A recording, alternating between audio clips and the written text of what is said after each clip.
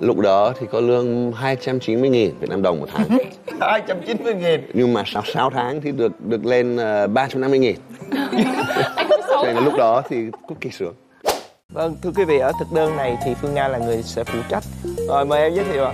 À, vâng, đây là cornish pastry là một món là cực kỳ quen thuộc. Mà mời anh chị ăn thử thì anh chị sẽ cảm nhận được cái vị đặc biệt là đầu bếp nhà hàng ngày hôm nay là có dùng thêm cả lá lốt của Việt Nam. Ồ, wow. Đây ạ. Ông xã thường ờ, hay có hay làm cho mình món này không? À, không anh ạ. Cái món này nó không phải vùng quê của của anh. À, không phải quê của anh. Ừ, không phải quê Sao của anh bảo anh biết làm cả thế giới? Cả thế giới luôn Thích ăn cái gì thì nấu cái đấy. Nhưng mà cả nước không biết.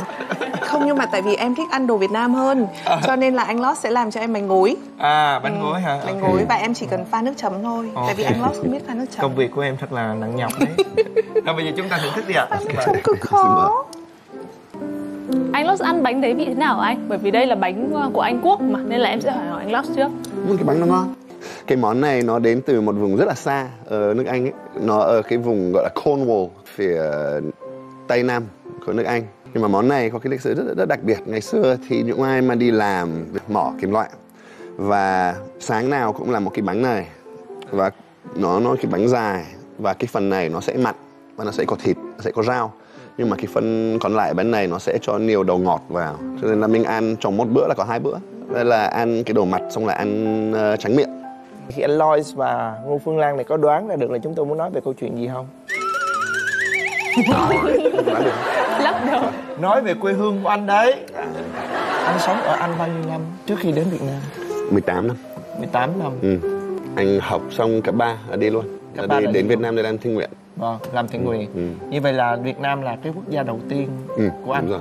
Ờ, lúc đó thì đến Việt Nam không phải là lựa, lựa chọn của anh đó là lựa chọn của công ty thiện nguyện À. mình lúc đó thì mình đang làm ở đó À. và họ thì quyết định là Việt Nam thì hợp cho Los À. và Los thì, thì hợp với Việt Nam và họ đoán quá đúng Cho nên là sau một năm thì mình ở lại cả đời Vâng.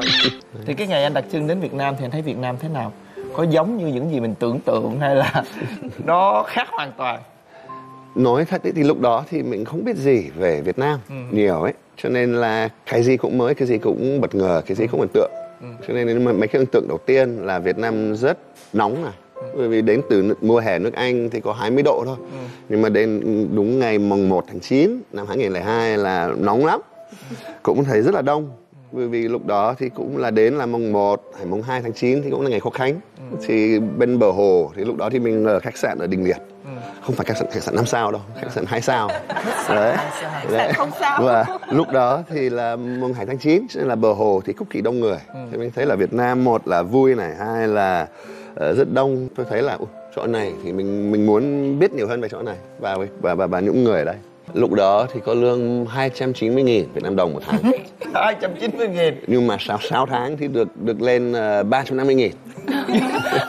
Nên là lúc đó thì cực kỳ sướng Đâu có đủ đâu anh nhỉ Đúng không? thật. Nếu vậy là đâu có thể trang trải được cuộc sống ở Việt Nam. Nếu mà như vậy thì lúc đó anh có cảm thấy khó khăn để mà thích nghi và anh muốn về lại anh không?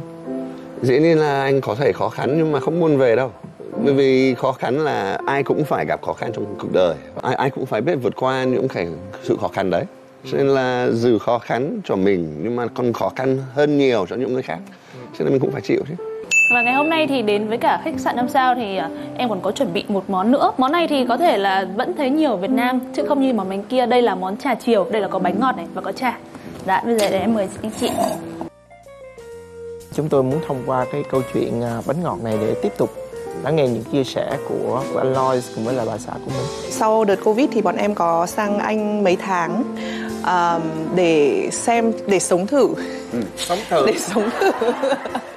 Để sống thử xem là mình có thích nghi được với cả cuộc sống ở bên nước Anh không. Thì cả em và cả anh Lost đều cảm thấy là mình rất là khó có thể thích nghi được. Ừ.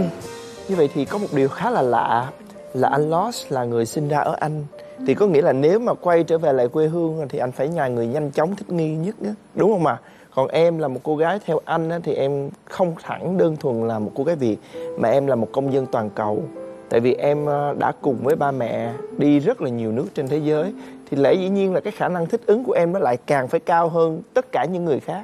À thích ứng thì được thôi nhưng mà em nghĩ là mình nói đến cái việc mà mình có thích hay không ừ. thích ứng hay là có thích thực sự hay không ừ. thì thích ứng thì bây giờ đặt cho mình ở đâu thì mình cũng có thể ừ. là là tồn tại được ừ.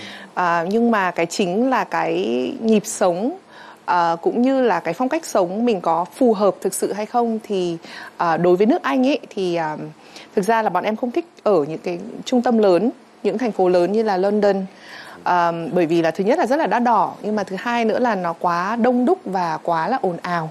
Bọn em thì thích là mình bao giờ mình cần ồn ào thì mình vào thành phố. Còn cuộc sống bình thường của mình là mình có một cái không gian rộng mở để mình có thể là um, có cái không gian của mình có cái chỗ thở của mình. Uh, cho con có thể chạy ra ngoài vườn chơi. Thì um, nếu mà lựa chọn như vậy ở nước Anh ấy thì phải ở một cái cái vùng mà nó có thể là nó ngoại ô một chút và nếu mà ở ngoại ô một chút thì những cái điều kiện xung quanh nó sẽ rất là hạn chế. Ừ. Cô ấy nói là tôi không thích một cuộc sống nó quá ồn ào. Tôi thích chọn những cái nơi mà nó yên tĩnh chỉ khi nào ồn ào tôi đến. Thế mà cổ lại đi thi hoa hậu. Em có hiểu không? Tất nhiên mình chưa biết là mình có đặt giải hay không nhưng Đúng mà bước chân vô đó là đã thấy nó ồn ào rồi. Là đã Đúng không? phải cố gắng rồi đó em đã từng thi hoa hậu là em cũng biết được là nó rất vất vả và trở thành người nổi tiếng rất là khác biệt. Thực ra là không phải em là người đăng ký thi hoa hậu mà là gia đình gửi đơn đăng ký xong rồi bảo là sang Anh để gặp bạn thân hồi đấy bạn thân của em ở bên Anh. Ừ. em bảo con sang Anh con gặp bạn kia. Thế em bảo ok thì con đi sang con gặp bạn kia. Xong rồi cuối cùng đi thi bận quá chẳng được gặp bạn kia.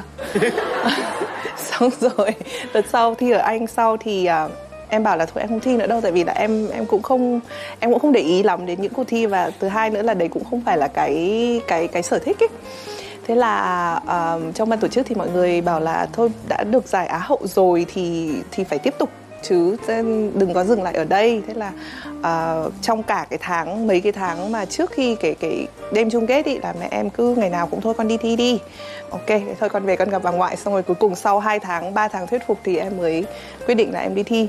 Như vậy rõ ràng là mục đích chính của mình là đi thăm người quen. Đi chơi. Đi chơi, đi chơi. nhưng mà cuối cùng thì nó thành ra thành mục đích phụ. Còn mục đích chính thì lại là thành thi hoa hậu. Đúng rồi đúng rồi. ờ. Cho nên là cũng chưa chuẩn bị sẵn sàng tinh thần là sẽ trở thành hoa hậu. Yeah. cho nên là em đã được vương miện và em đã quay trở lại để học tiếp luôn mà. Thôi nhưng mà cái này là phải hỏi anh Lost bởi vì anh Lost cảm thấy thế nào khi mà quen mà lấy vợ là hoa hậu? Anh thấy áp lực không? Dĩ nhiên là chắc là chồng nào cũng nói là lấy vợ áp lực. Dù, dù vợ mình là hoa hậu hay không thì chắc là vẫn áp lực chứ. Uh, thì anh thì không phải là một người mà đã quan tâm đến việc giải hoa hậu. Tôi không để ý về chuyện đó cho nên là sau khi lấy lan làm vợ thì anh nghĩ đến lan là một như là một con người không phải như là một hoa hậu. À. hậu cũng là con người mà. À. nhưng mà như vậy thì nó sẽ đỡ bị đỡ bị áp lực hơn vâng. Chúng ta vừa đến với cái thực đơn đầu tiên đó chính là thực đơn của nước anh. À, nó hơi ngọt tí xíu nó hơi nhiều tinh bột tí xíu nhưng không sao cả à, hai vợ chồng cũng muốn dĩ là người thích ăn mà đúng không ạ? Cho nên ngay bây giờ chúng ta sẽ đến với thực đơn tiếp theo cùng với lại đức châu nhé. Mời châu và xin mời hai vợ chồng ngồi kia